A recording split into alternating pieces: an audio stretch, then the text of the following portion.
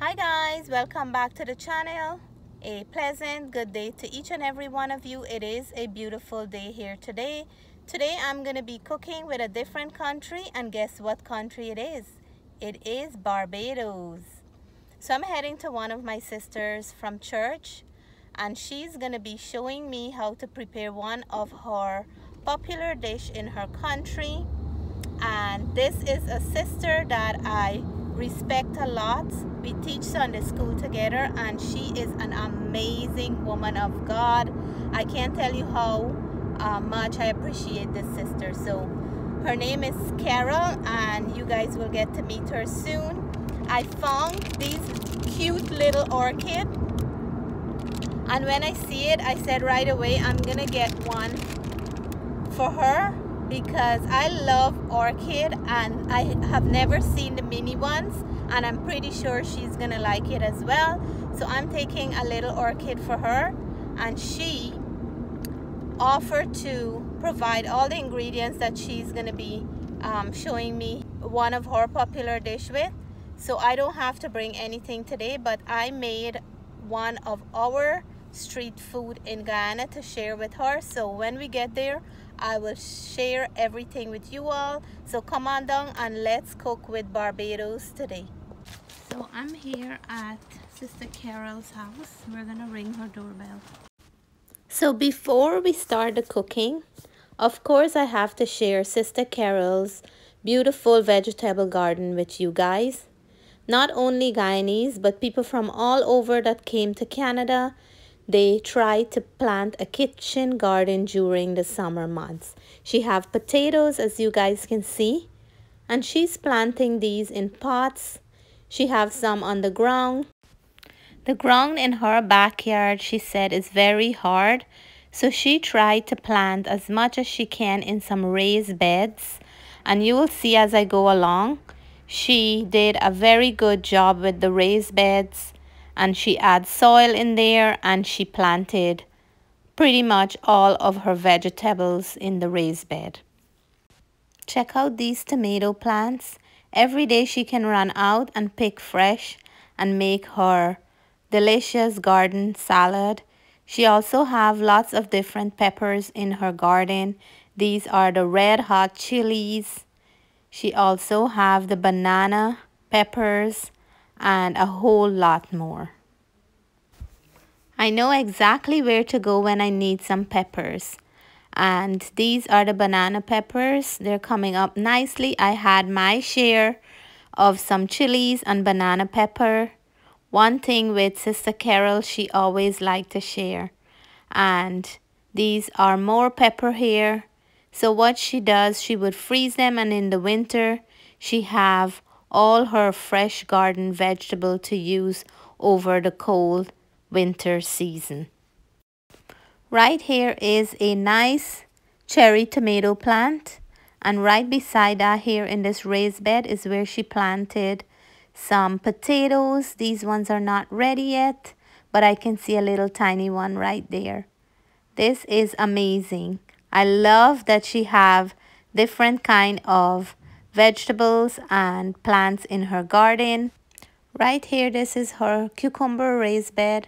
And I like how she's reusing the broken branches from the trees around her neighborhood. And she's making these be beautiful trellis for the cucumbers to run on. There is a lot of cucumbers in here. As you can see, there's one right here. There's another one here and there's so many in between look at that beautiful when you come out here you have your cucumbers lettuce tomatoes everything to make a fresh salad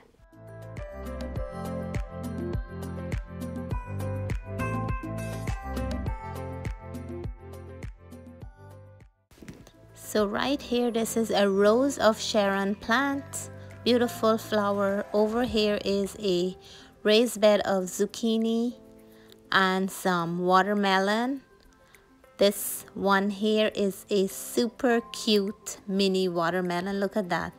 There's about three in here. There's another one there. And there is one right here. So cute. I just love this. There is a little bit of everything in this garden.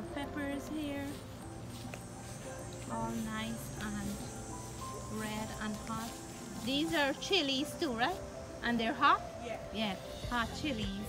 And these are onions that she's keeping for seed. And then over here she have more potatoes. This is the one that she just dug up and these are the small potato because she said the ground is very hard on the bottom. These are all potatoes down here. This is lettuce right here, romaine lettuce. This is more potato. And check this pumpkin right here. This is a pumpkin. There's a big, huge zucchini right there. Look at that zucchini. Oh my goodness. And then there is another zucchini right here. There is one right here. And then there's more butternut squash and another pumpkin right there. The Carol have a compost barrel that was made by her brother-in-law and she's gonna show us here. This is the hatch on the bottom. So this is where you would take out. Oh, that's where you take out your compost. Right. Oh, nice. Some peanut shells. Yeah, so um, all of that's breaking down. Okay. Right. But and okay, so and don't mind the flies. Yeah, and that's the compost in there. That yeah, it's breaking down for next summer or anytime. Anytime. Okay. So I, if to take out, I would go down through the bottom To- and take the- out because the bottom is what has. It's older. Yes. Yes. So Right. she'll take down from the bottom first because every time she get new ones, she'll put from the top. And this is one good way of fertilizing the plant instead of using chemicals. Yeah, we don't use any chemicals. We don't use chemicals too because it's bad for the soil. Yeah. And and what I like about another thing that they do is that they collect rainwater in these barrels and she have four. She have two here and two on the other side. And instead of using water every day from the tap, she used rainwater to water her garden, which is amazing. So she's not only planting a garden in free hand, she's doing all the extra work to keep a organic garden as well. So Sister Carol called this um, the broadleaf thyme just like us in Guyana. And she have a beautiful hibiscus here with two flowers nicely open and it's budding again. She have her rosemary here and I see a fresh basil coming up. And her strawberry, you have the white strawberry? No. Oh, because I see a white strawberry. It'll turn. Oh, okay. So her strawberry, your leaves look very nice and lush. eating out my strawberry. That's why we have the And this we have back home too, and we call this croton, I think. I'm gonna ask her what she called that. And this is her basil, ba- basil, and this is an okra plant. She called it spinach, and we call it poi baji. Okay. Sca- Malabar spinach. It's actually my neighbor. They give that one Yeah. too. She's. From my country? Yeah. Okay, Those okay. and this is her mint here. Yeah. And she have the f- um, The curly. curly parsley, flat leaf parsley, and Italian. this is the Thyme. fine thyme. I love thyme. There's two types in there because one is the trail. I almost forgot to share the bean plant and she have the yellow bean in here. There's a lot. And these ones hold up very nicely in the cold weather as well. And over here she have another kind of bean. This one here. There are so many on the plant. Look at this. So her garden is so beautiful and I like how she's really using up all the um, broken branches. The She's doing her own compost and rainwater to water the garden. Like so amazing. All the time she put into this garden is amazing. So all this potato here, Sister Carol harvests from her garden. And this is just amazing. This to harvest potato in this the space of three months is amazing. And these little ones, Sister Carol, is nice to bake. Yeah. And they finish quick time. We don't and even peel them. yeah, you wash them clean and Yeah. then it's so nice. This is onions from her own garden right here. Look how many. And she have way more than this. This is just the best feeling ever. So Sister Carol is showing us today how to make one of her country's popular dish, right? And this is called Cou Cou. cuckoo. So it's a national dish. It's a national dish. I'm gonna let her tell you, and you can say hi, Sister Carol. She is Hello. such a lovely person. I have such great respect for Sister Carol, and today I'm so happy you can share one of your country's national dish with me, and my viewers and subscribers will also be happy to see what it is, and she's gonna tell us what it is now. So today we're going to make uh, cou cou, which is the Barbadian national dish. It's usually cou cou and flying fish, but we don't. We're not doing flying fish. We're going to do an okra slush with it with um, salted cod or salt fish. That's amazing. Sounds good already. So she's cutting up the okra. I, I like to try different um, culture food or different country dish because we have a lot of similarities. Yes. We cook okra too and um, we cook it with salted fish as well. But I never had it your way that you're gonna make it with the um, cornmeal. Yes. So we still have something in similarities, which is amazing. And I see here that she have her onions and garlic chopped up, and I'm pretty sure this this is from your garden, right? Yeah. Yeah. So she used a lot of natural stuff from her garden. She also plants her own okra. Uh, today we're not using the ones from her garden, but she do have okra plant in her garden as well. Check out the salt that Sister Carol used. It is a herbal salt. And here it is. It's an organic herbal salt, sea salt. And she said there's some celery and some nice herb in there. And this is the one she used in her cooking. I have never seen it, but she said you can find it from Costco. So I had to share this salt with you all because I think there is uh, curly parsley, basil, rosemary. I see here um, it looks like leeks and another herb looking like oregano. Uh, this is amazing and I'm gonna give it a try. Since it can be found at Costco for sure, I'll go check for this the next time. Thank you for sharing this with me, Sister Carol. You're welcome. So she already soaked the salted fish overnight, boil it out, and she just break them up into small pieces. She just finished chopping up the okra and now she's getting some spinach from her garden. So Sister Carol is just adding a little bit of warm water into the cornmeal before she add it to the pot with hot water. So you're giving it like a kickstart. Mm-hmm. Okay. So into the warm water with the flavored salt, Sister Carol is adding her okra. And she's calling this a okra slush? Yes. Okay. So we will see the result after. I'm very excited to learn about this dish. So once the color changed to a brighter green, that's when she know it's time to add the other ingredients. So Sister Carol is adding the onions and the garlic into the okra now that it's boiling up And the saltfish. and the salted fish. This is gonna be one delicious pot. My favorite salted fish. She's adding some black pepper.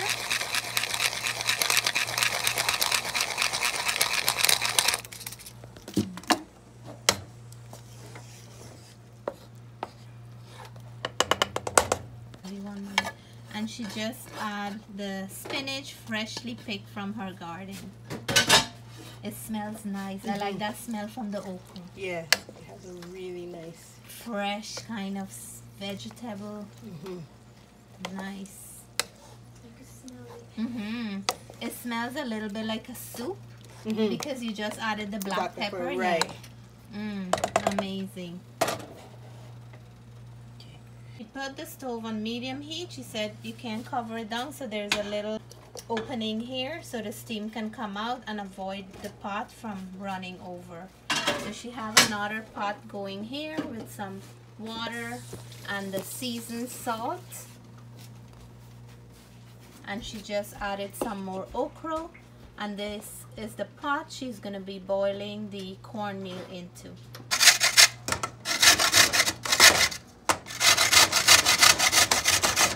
Because you just want to give it a little... Yeah, a little bit of the tomatoes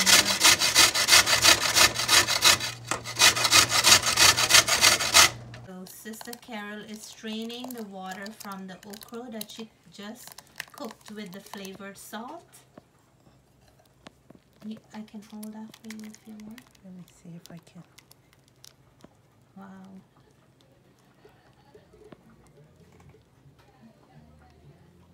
Sister Carol just pour half of that okra liquid back into the pot.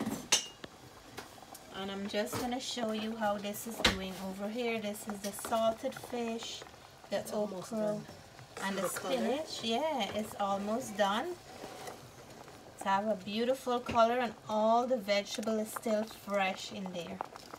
She's going in with the cornmeal little by little and she said for this one she needs some muscles because you have to keep turning it or else it will get lump. It get lumpy and then it will get hard. Okay, So so this process here is the technical one. and we usually have a cou cou stick, but it's Oh. just a wooden. It's a straight stick, Okay, but we learn to use your spoon here right. Because if you some don't more? have it, yeah, Need some, more liquid. no? Yeah. Okay. And I don't want to. So she just added a little bit more of the liquid and she's gonna add the rest of the cornmeal.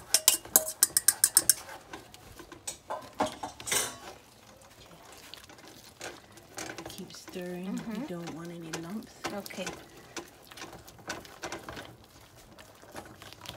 And she said there's a special stick back home that they use to stir this with. But today we're using a regular wooden spoon.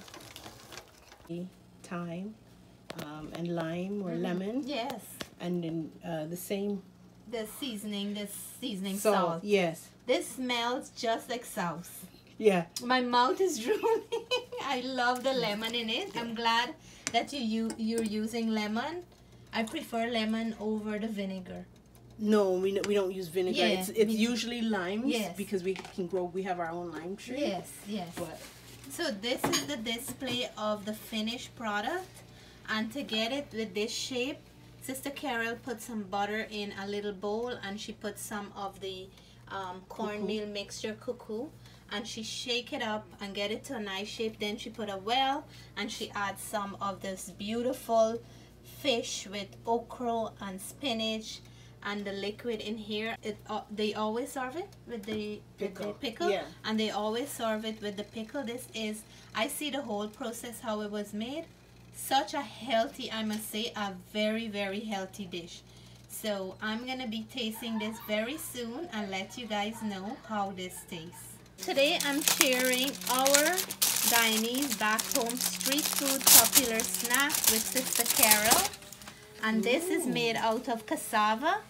So I season the cassava, you boil it and season it, and then you wrap it up with a surprise in the middle that I want you to put one on a plate, cut it open, and you'll see. And then I made some fresh mint chutney. okay. So this have mint, cucumber, garlic, a little piece of green chili, and a pinch of pink Himalayan salt. So, Sister Carol, if you can try one. So we're sharing dishes today. I said it's not fair for Sister Carol to prepare this whole meal from her country, from Barbados, from me without me letting her try something from my country.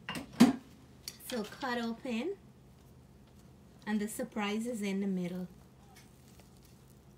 Ooh, So it can work as a breakfast. nice. It can work as a lunch, a quick snack to go and we serve it back home with mango chutney Okay. or mango sour so it's mango cooked with garlic pepper and some salt but today because I have so much mint and I know that we always talk about the garden and stuff like that I would like maybe put a little on your plate and try it first and see if you like it with the mint chutney we had it with mint chutney and it's really really good Or pepper sauce.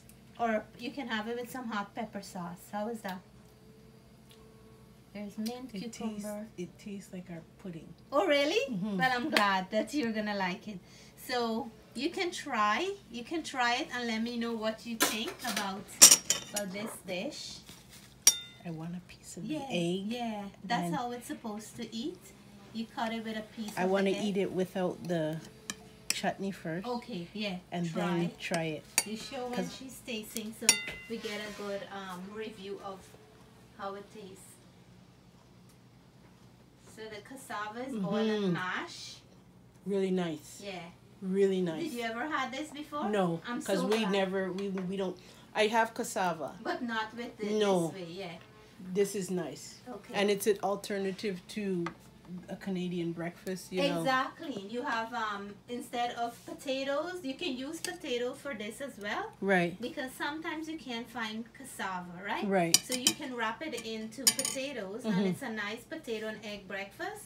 Or if you find cassava, and I try to do it with cassava as much as I can. I don't know which I like better, with or without. I know. So try half with and half without. So I ha- I bring you these ones Thank you. to share with you and your family. Thank you. We'll because you're we'll love your meal with me as well. So Yeah. I'm gonna be trying hers. Mm. Carol, I didn't tell you the name of it. We call this egg ball. okay. So Wow. it's like a ball with egg inside. So that's the name that we call it. But Yeah. it's very popular in Guyana. Love the cassava though. Yes. I'm with Big Smile trying Barbados national dish, one of them today. And I really do appreciate the time Sister Carol take to show us and make this entire meal to share with all of you guys. We really do appreciate this. So I'm going in for the cou cou, which is the cornmeal part, and a little bit of the um, okra the slush. So cheers. Oh my god. It tastes like a nice fresh okra soup that we make. You know when we make a nice fresh okra soup, the cornmeal tastes something like a dumpling kind of. Amazing flavor. The salt is just perfect in there. That's why. I was wondering if it's gonna have enough salt because you only add a little bit, right? But it tastes amazing. I'm gonna go in for another mouthful. And this dish is a healthy dish with all the ingredients that you add in here, the vegetable and everything is very healthy. Cheers. I think I can make it on my own Yes, now. you can. Yes, you can. And since I have the video, if I'm missing anything, I'm gonna try back. And to go with it is the cucumber pickle. That cornmeal really tastes nice. Like I can't explain how what the texture is like, but it really goes well together. This is the pickle. Mmm. This is cucumber from your garden. So fresh. The crunch is still in there. It'll have that nice lime flavor to go with it. Everything is tied in well. Such a perfect dish. So today, my plate have a Barbados dinner on it. Let me know what you have on your plate today. And I hope you guys enjoy this recipe cooking with Sister Carol Indian or Bajan? our Bajan dinner today. And she said um, Barba- Bajan people have this on a regular Saturday or a during the week meal because it's very easy to prepare. So I want to say thank you guys for watching. Stay blessed, stay safe. Bye for now.